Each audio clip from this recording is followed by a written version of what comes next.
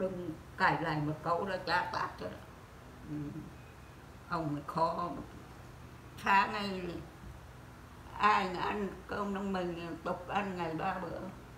Ai ăn việc cái, cái bụng chứa nó có hạn. Cái nhìn vòng vòng này nhìn được nó có ăn bụng không? Ừ.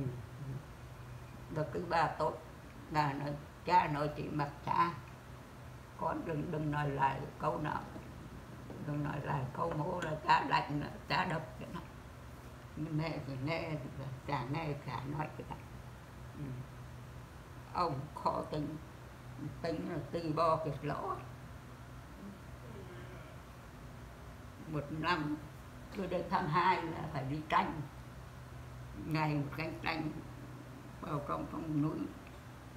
À, ngày đầu thì cắt ra để đấy thì lá nó còn tôi to chưa chưa chưa rủ được các cái cái, lá sâu kia cái ừ.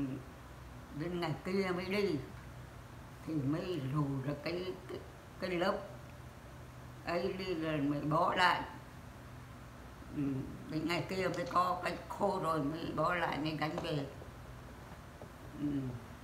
mà cả ngày chỉ được một gánh không không làm được nhiều mà không đi được nhiều mà mình nghĩ cực cái cảnh làm dâu với ông.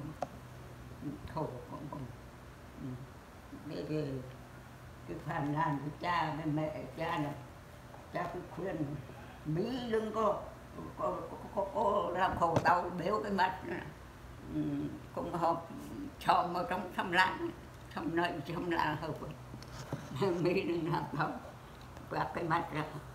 Ừ thế lại cứ nhờ bà mới khuyên, mới lấy được cha trường chứ không, bà mà như ông không ở này là ông khó khó khó đủ khó đủ đi à, đi bùa.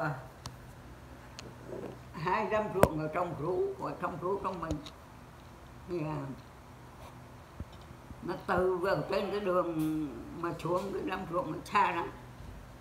Phải vác bừa phải hai lần bừa cày hai lần cày hai lần cày.